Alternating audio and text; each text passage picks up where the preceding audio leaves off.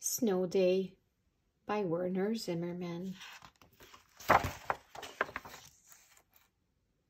Something woke us early that morning. Maybe it was the silence. Millions of snowflakes drifted down. Everything was covered in a deep blanket of snow. Would it be deep enough? Would school be closed? We waited and waited. I was just about to drag myself out of the door when we heard the magic words. Snow day! My friends were already outside.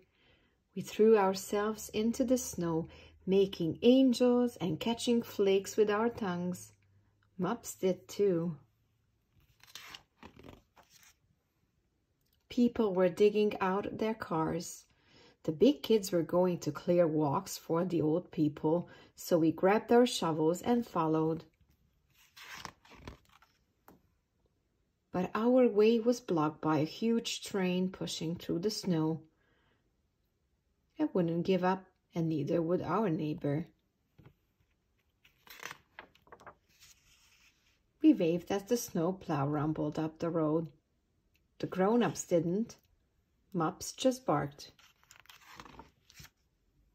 After lunch, we headed for the park for hockey and tag. The old maple was home free.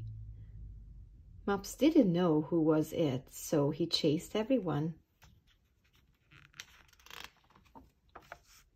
He even chased the puck. Our fingers and toes were frozen and our pants were soaked from falling down, but nobody cared. On the way home, we passed fantastic snow blocks. We just couldn't leave them behind. They would be great for snow fort. It had a roof and a flag and a tunnel for a door. It was the greatest snow fort ever. Mops helped. So did Mouse, our cat. Our faces were stinging by the time Mom called us in.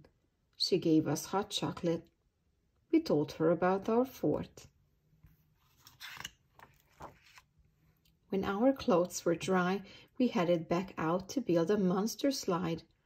Mouse watched from the fence where it was safe. By supper time, we could hardly keep our eyes open. Outside, more snow was beginning, beginning to fall. Just before bed, we had one last look. Millions and millions of flakes were falling.